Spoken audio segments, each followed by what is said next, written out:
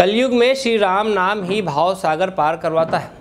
Doctor Vedanti ने कथा में बताया कि अगर मानव जीवन प्राप्त करने के लिए अगर हम भव सागर पार करने का प्रयत्न नहीं करेंगे तो हम स्वयं अपनी आत्मा के दुश्मन हैं। क्योंकि मानव जन्म कई योनियों के भ्रमण के बाद प्राप्त होता है, इसलिए मानव जीवन प्राप्त होने पर हमें परमात्मा में विलय के लिए भी प्रयास करना चाहिए। कलयुग में राम नाम जन्म से लेकर मृत्यु तक रहता है। जब जन्म होता है, कथा के प्रथम दिन अवधपुरी राम जन्म की कथा सुनाई गई। कथा में जैसे ही राम जन्म हुआ हुआ, वैसे ही उपस्थित जन समुदाय झूम उठा और नाचने लगा। अयोध्या में राम जन्म पर बधाई गई।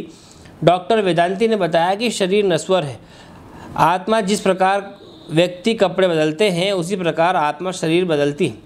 इसलिए आत्मा को परमात्मा में विलय के लिए इस पृथ्वी पर श्री राम ही सबसे बड़ा और सबसे सूक्ष्म मार्ग है। महाराज ने व्यासपीठ से बताया कि कलयुग में राम नाम के उच्चारण मात्र से ही भव सागर पार किया जा सकता है। विदिशा से आशीष सेले की रिपोर्ट।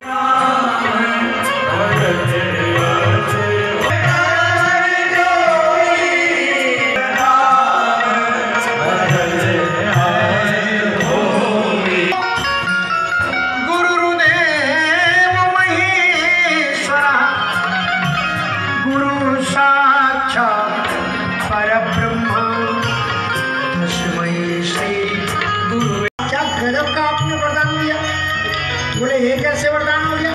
अगर बुरी पत्नी हो, बाज़ार में खो जाएगा बड़ा बड़ा अच्छा हुआ टंटा छोटा।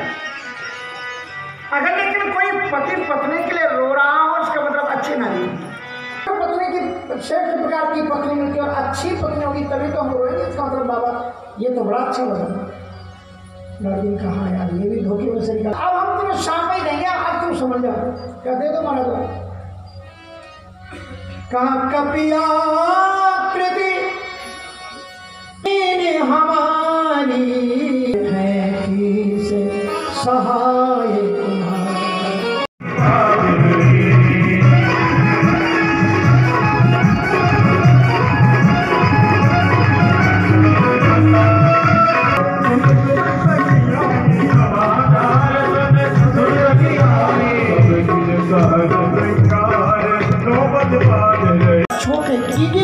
कीजिए शिशु लीला अति प्रिय शीला यह सुख परम अनुपा आप शिशु बन जाओ बालक बन जाओ शून्य वचन सुजाना रोदन खाना और भय बालक सुर भूपा इस देश की कहाँ से बच्चा ले आए बच्चा जन्मता तो रोता नहीं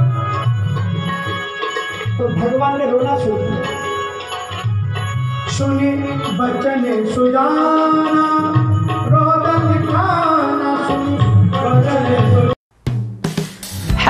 फ्रेंड्स आप देख रहे हैं हमारा channel S W twenty four news हमारे सारे वीडियो सबसे पहले देखने के लिए आप हमारे चैनल को सब्सक्राइब करें और पास में लगे बेल आइकोन को दबाना बिल्कुल भी ना भूलें।